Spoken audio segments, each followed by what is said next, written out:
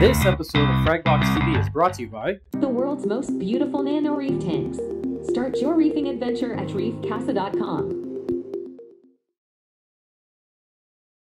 What is going on, my reefing fam? March here. This is Fragbox TV. Thank you for tuning back in to our channel. What is this channel? What is going on here? This is our store in Toronto, our coal store that specializes in corals and everything to do with saltwater tanks. Okay, what are we going to talk about today?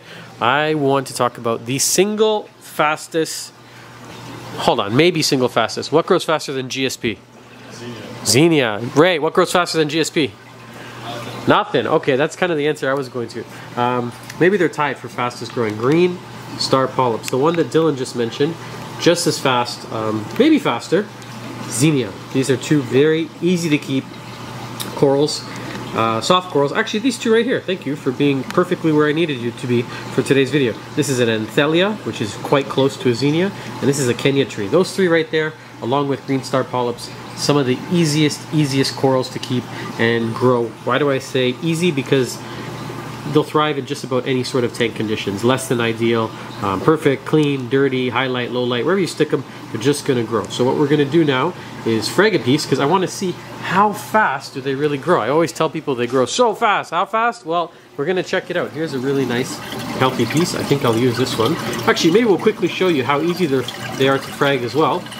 I'm going to Indonesia and Japan and Taiwan and all these lovely places in a couple days. So I thought this would be a good time to do this. What I'm going to do is take our little piece of GSP. So what I'm going to do, sorry, is glue it right here on this little rock. Um, if you see our glass is kind of dirty, it's because we actually just had some snails spawn in the tank. But this is what I call GSP Island. And why do we put it on an island? Because it can grow quite fast. If I were to stick it, you know, on the base of this rock, it would really just take all of this over. You want to keep it on a rock that's really easy to move.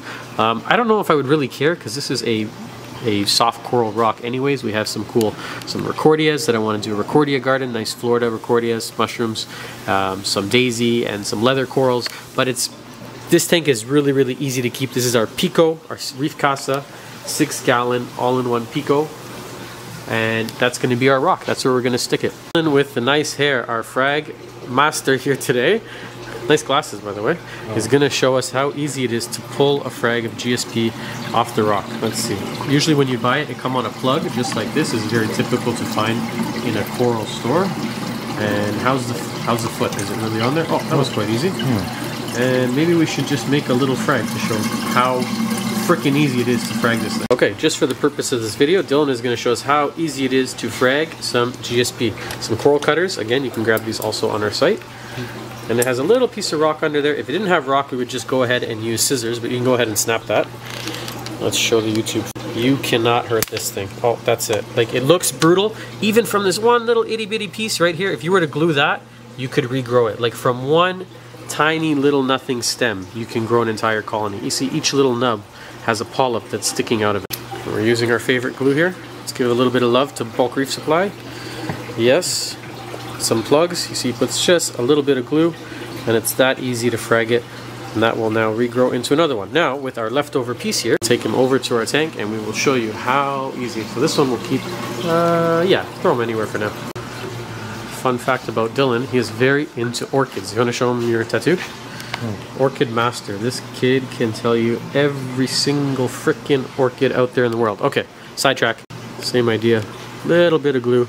I like to use gloves. Dylan has a very steady hand, so he's not going to glue his fingers together. And we're going to stick it on uh, uh, a, a GSP island, what I'm calling it. And watch how he just places it gently, super easy. Gives it kind of a shimmy. It kind of pushes and shimmies so that the glue breaks and goes into the rock. Oh, and there it is a little bit on his finger, but it's really, really easy to do. And that's it. I'm gonna leave this here. I'm gonna leave the country.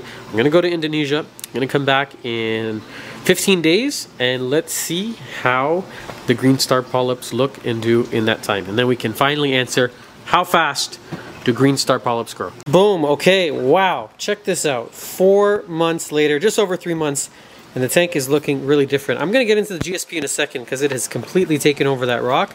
But I mean, the tank in general, it's gone through some changes. Um, I expected this to grow a little bit more. That's our daisy polyps. You can see they've begun to encrust a little bit over the rock. the toadstool. Look at the size of this. The other leather corals, I kind of wish I picked up the camera once more and I sort of forgot that I was making this video because so much time passed. But let's get into looking at the GSP, which was really the whole point of this video, is to determine how fast does Green Star Polyp really grow. How fast, Diggs? He doesn't care. Okay, so, hmm, how big was that piece? Maybe half an inch by half an inch? So it is close to, I don't know, 10 times the size. It's completely taken over this little island here. Let me turn off the flow and show you from the top. And we've added some fish. Check that out. Completely took over the entire piece of rockwork. So you can see in only just a few short months how much it's grown. It looks really healthy and it only grows faster. What does that mean? It grows exponentially. So a piece this size is going to grow a lot faster than that original little one that we put in. As the coral gets bigger, it can consume more nutrients in the water and it can photosynthesize more. So this piece is going to grow exponentially faster. These have also exploded. This is our blue pineapple tree coral. This is a couple, maybe four or five times bigger than the frag that went in. Dylan's crystal green Kenya tree, also enormous. I think I gotta pluck them out. Look how big they are. It's looking really good, but a little bit overgrown. It is time for uh, a haircut. Our Kenya tree over here has kind of let go and decided that he wants to be a Ricordea among our Ricordea garden.